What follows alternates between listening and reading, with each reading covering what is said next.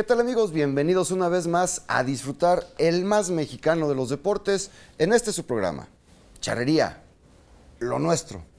Como de todos es sabido, en esta época vacacional se llevan a cabo los campeonatos nacionales de la categoría infantil, de la categoría juvenil y de la categoría sub-21.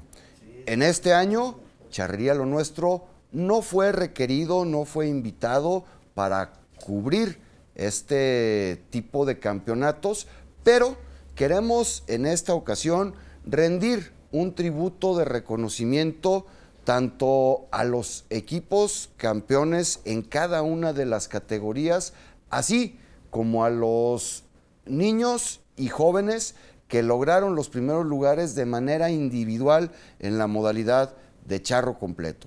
En esta ocasión iniciamos con una charla precisamente con el campeón nacional de la categoría infantil A en el charro completo. Él es Pablo Barba Ruiz. Pablito, bienvenido a Charriero Nuestro. Muchas gracias.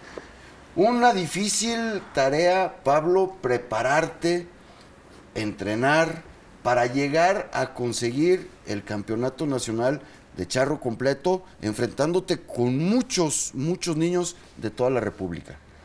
Sí, pues fueron muchas horas de entrenamiento, mucho tiempo dedicado. ¿Desde qué edad practicando la charrería, Pablo?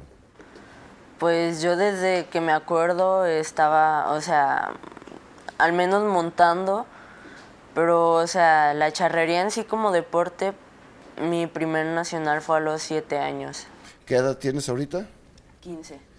Hay que recordar, amigos, que este jovencito que se encuentra a mi derecha es nieto de un hombre que hizo historia en la charrería, no solamente en el estado de Jalisco, sino en toda la República Mexicana. Me refiero a don Pablo Barba Barba, de los pioneros, de los fundadores de eh, ese equipo de los bigotones de Charros de Jalisco y obvio hijo de don Andrés Z. Barba, quien fue quien le diera vida a la charrería, no solamente en el estado de Jalisco, sino en diversos estados del país. Además, Pablo, estuvieron participando con tu hermano, ¿con quién más en el equipo que obtuvo el segundo lugar a nivel nacional? Pues se encontraban Mariano Franco, Santiago Casillas, Rodrigo Fernández, David Vázquez, Pablo Casillas. Y bueno, fue una difícil competencia porque los equipos estuvieron bien preparados, venían equipos de todo el país y también de la Unión Americana. Sí, y más que cada año se hace una selección, o sea, de todos los equipos pasan tres a la final. Este año se hizo semifinal, entonces fue más... Fueron más las etapas que tuvieron que recorrer para llegar a ser este segundo lugar. Recuérdanos, Pablo, quiénes fueron los equipos campeones en las diferentes categorías. En Dientes de Leche se puso en primer lugar un equipo de Querétaro. En Infantila este, fue Tres Potrillos, creo que era. En Infantil B fue la selección de Nuevo León y segundo lugar nosotros. Oye, y algo que es muy importante, termina esa etapa del Campeonato Nacional Infantil, una semana después se va una selección representativa del Estado de Jalisco, que fue el equipo representado por ustedes, a la Olimpiada Nacional y de ahí se traen el oro pero no solamente el oro con una puntuación muy barata, sino que también logran una, puntuación muy elevada eh, para conquistar este título. Sí, pues hicimos 401 puntos. No íbamos tan bien, pero metimos las seis manganas, entonces eso nos subió. Pero estamos hablando que eso no es novedad, Pablo. Sabemos que en el Campeonato Nacional Infantil prácticamente de nueve manganas metiste ocho o siete, una cosa así. Sí, pues nomás fallé en el equipo, fallé la última en la final nada más. ¿Y en el charro completo? En el charro completo, en la etapa eliminatoria metí las seis Y en la final metí únicamente tres, una a pie y dos a caballo. Pues amigos, estamos hablando de una realidad de la charrería, no es una promesa, es un jovencito muy dedicado, un charro muy serio, como lo acabamos de escuchar, como lo acabamos de ver, y que obviamente trae la sangre charra de dinastía.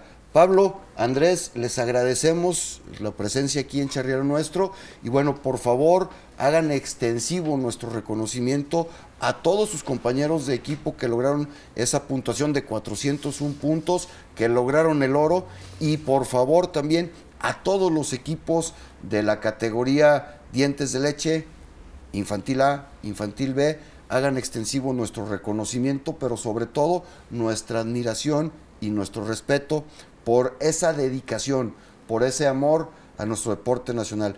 Enhorabuena a todos los niños de nuestro país que siguen preservando nuestra tradición. Y recuerden lo que decía don Delfín Sánchez Juárez, que no se acabe esa raza de los hombres de a caballo o que muera yo primero y no me toque llorar. Bien amigos de Charrealo Nuestro, pues tengo el honor de entrevistar a todo un personaje de la charrería jalisciense. A pesar de tener una corta edad, pero con una trayectoria enorme. Ricardo Yáñez Vázquez. Ricardo, ¿cómo estás? Muy bien, usted. Bienvenido a los estudios de Charrería Lo Nuestro.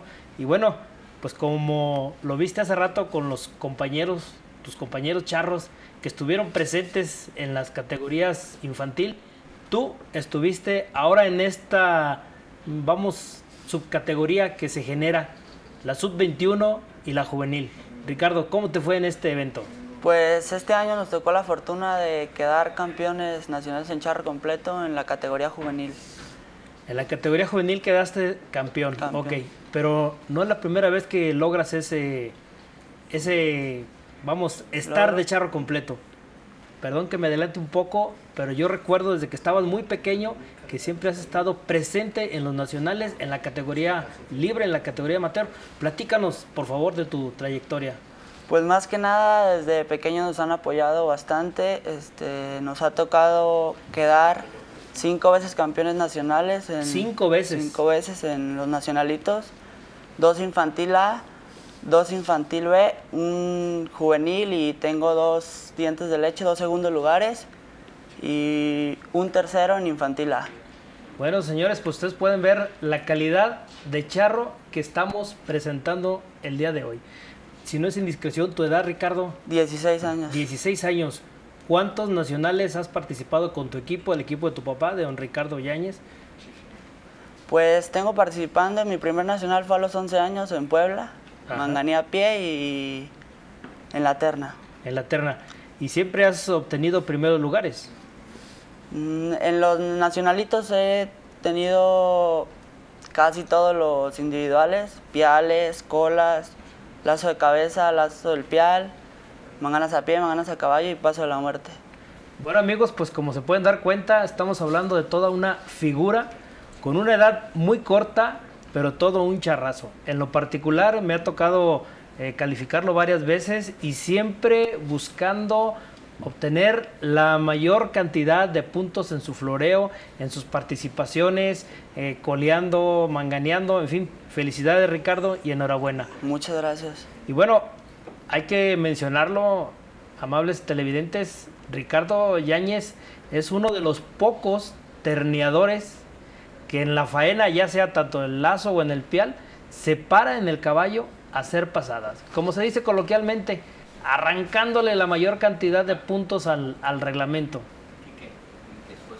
Este, incluso el- en Zacatecas, teniendo 12 años, quedé subcampeón en pial del ruedo.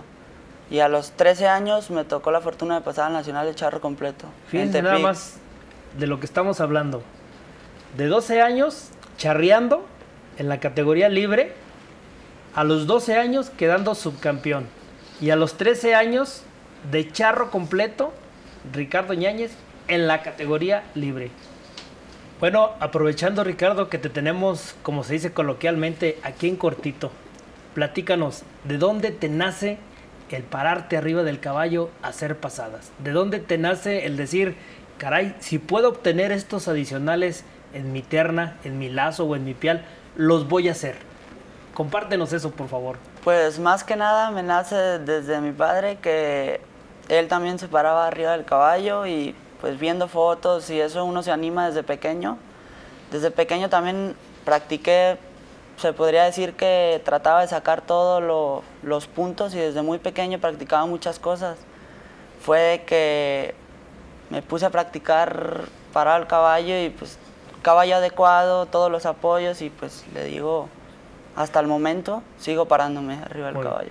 Si no me falla la memoria, traías un caballo chaparrito, un rosillito. ¿En ese empezaste a hacer las pasadas? En ese empecé a hacer las pasadas. para que vean, lo tenemos en la lupa a Ricardo. Felicidades, Ricardo, y que sigan los éxitos, ¿eh? Muchísimas gracias. El caballero se hace, no nace. El cuidado de tu imagen, déjalo en manos de profesionales. En el mostacho del Quijote, hacemos que luzcas como un caballero moderno, cuidando hasta el más mínimo detalle de tu apariencia personal Visítanos en Avenida Vallarta 1908 en Guadalajara y conquistarás hasta la Dulcinea más exigente.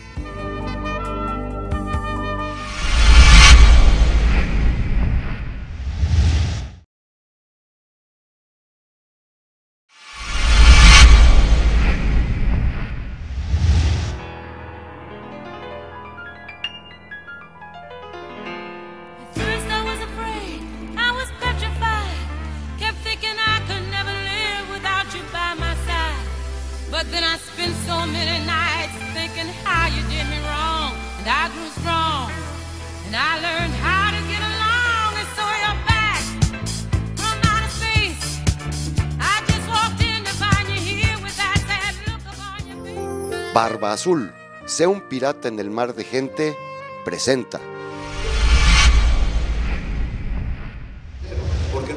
El fin de semana pasado se estuvo llevando a cabo el famoso Día del Nochistlense, un evento al cual amablemente nos invita a colaborar el licenciado Antonio Lomelí. Y es un evento muy bonito, un evento diferente en donde se le da espacio a la charrería infantil y juvenil, un evento en donde se reúne eh, la gente que es de Nochistlán, Zacatecas, a convivir, a departir, a partir el pan y la sal y además a disfrutar de esta competencia charra que repetimos es muy especial porque se decide darle un lugar de honor a estos pequeños grandes charros. En esta ocasión, dos competencias charras, una eh, matutina, otra vespertina, además con la celebración previa de la Santa Misa y entre charreada y charreada y al término de la charreada vespertina, también un convivio muy agradable con tradiciones de aquel estado y de aquella ciudad. En esta ocasión estuvimos viendo diferentes eh, personajes, diferentes personalidades, como en este caso Hugo de la Torre, que venía representando a la escuela charra de Tlajomulco en los piales en el lienzo, un charro prácticamente ya cuajado, ya hecho, al igual que este Marcos Ruiz de la selección de Nochistlán, vean ustedes, ganado propicio, ganado adecuado para cada una de las faenas, para cada una de las suertes, yeguas muy cómodas para los piales, para que estos eh, jóvenes, estos niños disfruten su participación y no corran ningún riesgo. Vean la cantidad de piales que se estuvieron metiendo en esta charreada, en donde estaba la escuela de Tlajomulco, en donde estaba el equipo de Nochistlán y donde estaba el equipo de sede, el equipo de Charros de Jalisco y también en la suerte del coleadero se estuvo viendo buenas acciones con ganado, decíamos, muy, muy propicio para la realización de la faena, muy cómodo para que estos jóvenes, estos niños, tengan la posibilidad de hacer este tipo de derribadas. Vean la manera como Hugo de la Torre, que es un charro ya consumado, que es un charro que ha participado incluso ya en eventos importantes de... Eh, carácter de charro completo, estuvo haciendo bien las cosas. También en la suerte de Manganas estuvieron muy, muy acertados cada uno de los equipos participantes. Vemos a Diego Martínez ahí eh, pasándose la soga alrededor de los cuadriles, solamente chorreando sin derribar a la yegua. Hay que recordar que el reglamento así lo marca. Aquí está Hugo de la Torre, de quien ya habíamos hecho mención, ejecutando la suerte de manganas a caballo. No lo hurta, lo hereda. Su señor padre, un hombre muy certero, un hombre que tiene una gran habilidad dentro del manejo de soga y que por cierto también tiene su propia escuela de charrería. Una pie, una caballo para esta escuela de charros de Jalisco y estamos viendo a la gente de Nochistlán representada por este José Manuel Aguayo de una categoría menor, un niño con grandes habilidades, ahí apoyado precisamente por Juan José, Prócoro Mariscal, para que la yegua no lo trillara, para que no hubiera ningún problema con el manganeador, pero además eh, es importante señalar que bueno, él estaba dando indicaciones tanto al manganeador como a los arreadores y con buena fortuna este pequeño logrando acertar dos manganas de cuenta. Hay que rendir un tributo de reconocimiento ahora que estamos hablando de estas categorías, a los equipos y a los charros completos que lograron los primeros lugares en el pasado Campeonato Nacional Juvenil y Sub-21. Haciendo mención que en la categoría juvenil, en el charro completo, eh, obtiene el primer lugar, ya lo vimos, a eh, Ricardo Yáñez por equipos en la categoría juvenil nos dio mucho, mucho gusto ver que el equipo de Rancho el 50 de Veracruz se alzara con la victoria. Vaya desde aquí un reconocimiento a Ernesto García, que ha apoyado fuertemente a los niños, a los jóvenes allá en su estado. Y bueno, su equipo de Rancho el 50 queda como campeón en la categoría eh, juvenil. Y bueno, qué decir de la sub-21, en donde el famoso Tipiti Diego Ibarra se alza con el triunfo en la especialidad del charro completo, convirtiéndose en el primer campeón de esta nueva nueva categoría y el equipo representante, la selección Jalisco, también obtiene el primer lugar por equipos con una extraordinaria puntuación de 372 unidades. Un reconocimiento tanto a los niños como los jóvenes que han participado activamente dentro de nuestro deporte nacional, haciendo grande la charrería.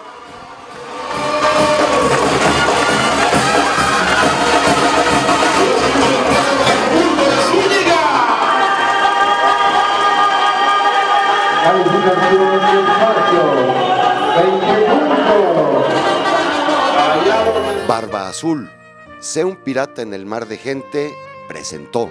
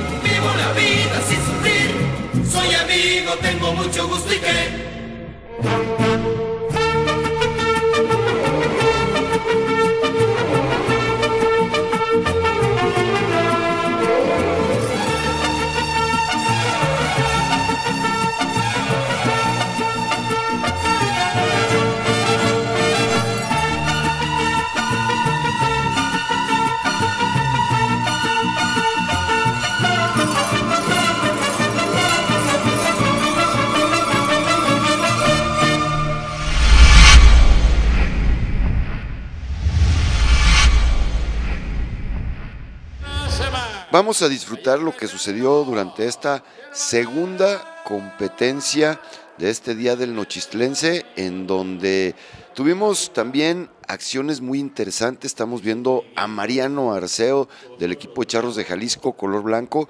Mariano, hijo precisamente de un gran amigo, el famoso Pepo Rayas, un hombre entusiasta y este joven con mucho corazón, con mucha entrega para la realización de las suertes de nuestro deporte nacional unas competencias bastante agradables, unas competencias en donde más que mostrarle a los niños y jóvenes que es una competencia, se puso de manifiesto que es una convivencia, que la charrería, esos son sus orígenes, esas son sus bases, esos son sus principios, la amistad, la camaradería, la hermandad entre los charros. También en esta competencia hubo la posibilidad de disfrutar, de deleitar la pupila viendo buenas acciones como estos piales en el lienzo en donde estaban tirando prácticamente eh, dos pialadores al mismo tiempo, uno a los 10, otro a los 50 metros y vean ustedes cómo, eh, como indica el reglamento en este tipo de categorías, lo importante es acertar el pial, no necesariamente hay que eh, detener la carrera de eh, la yegua. Y bueno, ya estamos viendo aquí acciones también interesantes en la suerte del coleadero.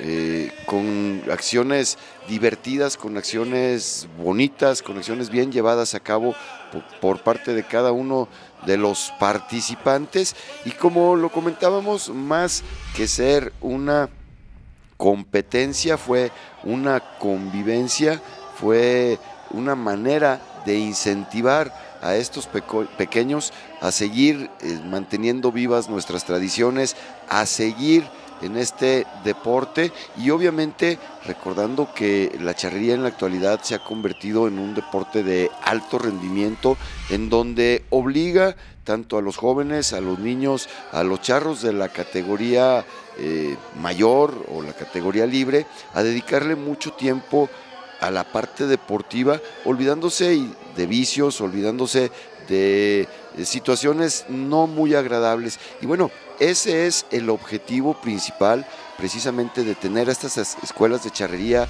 de tener estos eh, pilares para que la charrería siga creciendo, para que la charrería siga siendo lo que hasta en la actualidad es el deporte nacional por excelencia.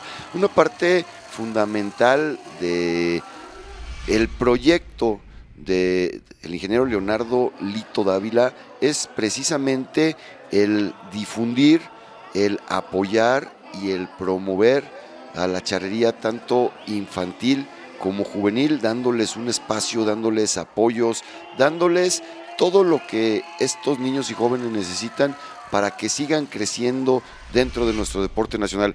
Enhorabuena a todos y cada uno de los equipos participantes, de los jóvenes y niños participantes en esta competencia y enhorabuena al licenciado Antonio Lomelí precisamente por la organización de la misma, dándole espacio a la juventud y a la niñez char.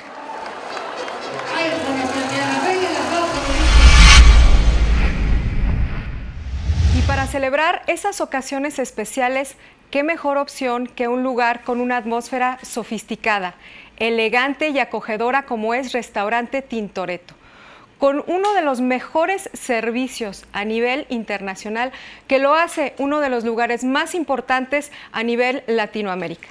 Tintoretto cuenta con una cocina italo-argentina en donde podemos disfrutar desde una pizza horneada a la leña hasta un estupendo corte. Esto es Tintoretto en uno de los lugares más privilegiados de nuestra hermosa perla tapatía como es Avenida México 2916. No te olvides de hacer tu reservación al 3311 09 85 48 porque en Tintoretto te esperamos con una cava de estupendos vinos de las mejores cosechas. No te olvides, te esperamos en Tintoretto porque nuestra especialidad es sorprender.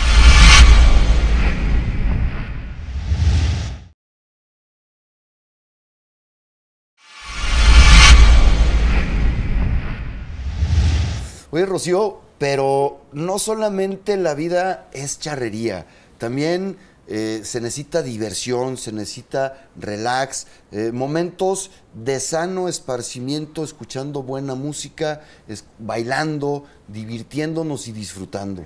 Pues yo te tengo el lugar pero mejor no lo vas a encontrar. Se encuentra en un lugar muy especial de nuestra perla tapatía y se llama Capela. No sé si ha sido por ahí un ambientazo increíble. Rocío, cada ocho días, cuando no tenemos salida, cuando no tenemos viaje, estamos ahí en Capela porque realmente es un ambiente muy sano, muy seguro, muy agradable y sobre todo nos tratan con una atención personalizada en donde definitivamente queremos invitar a todos nuestros amigos que vienen a los diferentes campeonatos que ya se avecinan campeonatos muy importantes eh, el, último el último fin de semana de agosto y los dos, tres primeros fines de semana de septiembre. Hay charrería aquí en Guadalajara. Vienen amigos de todo el país y créanme que en Capela van a encontrar el mejor lugar para divertirse después de las charreadas. Sin lugar a duda, Enrique, porque no solamente está el DJ con una música espectacular, inolvidable de todos los tiempos, sino que también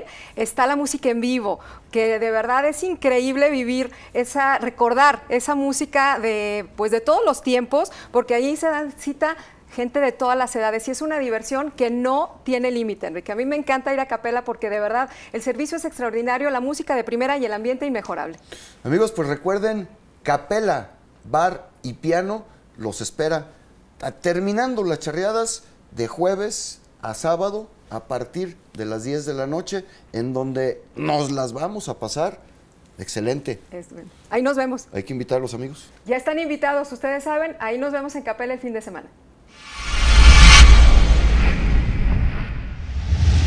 El pasado domingo 14 de agosto, dentro del marco del Campeonato Nacional Juvenil y Sub-21, se estuvo llevando a cabo el sorteo acomodo y hago la observación que las autoridades presentes ahí en, el sorteo así lo manifestaron de equipos para eh, la celebración de la fiesta grande de la Charrería Nacional, eh, la cual estará llevando a cabo iniciando el próximo mes de octubre, el día 17 de octubre para ser eh, precisos, la actividad social, el día 19 de octubre la actividad deportiva, un sorteo en donde se citó al público, a los medios de comunicación a las 10 de la mañana. Y bueno, eh, los integrantes del Consejo Directivo, muy, muy puntuales, iniciaron a las nueve y media de la mañana. Eh, nosotros, como medio de comunicación, Charrealo Nuestro llegó a las 9 con 48 minutos y ya había dado inicio este sorteo, en donde, como ustedes pueden apreciar, prácticamente no hubo eh, quórum, no hubo eh, personas ajenas a a la celebración del mismo. En estas imágenes tenemos la posibilidad de ver que tanto el secretario general como el secretario del deporte, como el coordinador nacional de jueces y eh, representante de la Secretaría de Relaciones Públicas de la Federación fueron quienes estuvieron llevando a cabo este sorteo.